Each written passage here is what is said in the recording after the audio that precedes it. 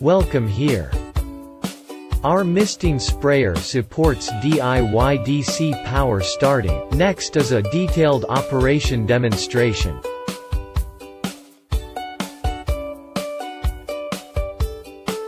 First, open the cover of the circuit device.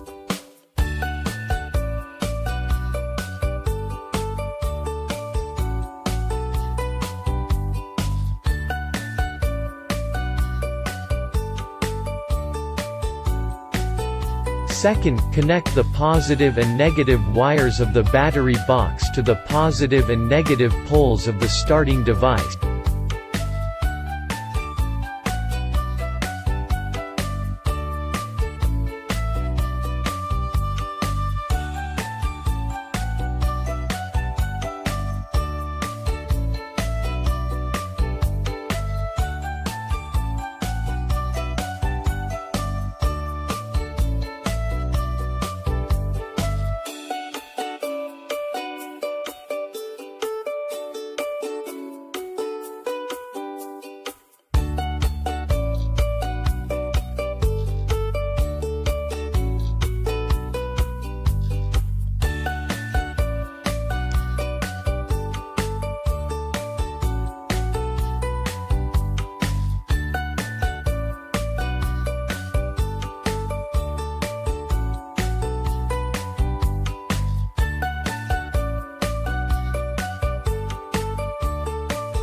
Third, install the battery and put the battery board into the circuit box.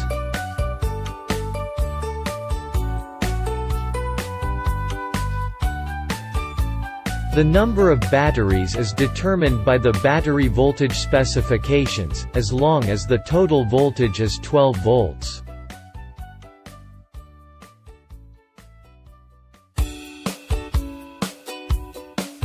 Finally, close the cover of the circuit device.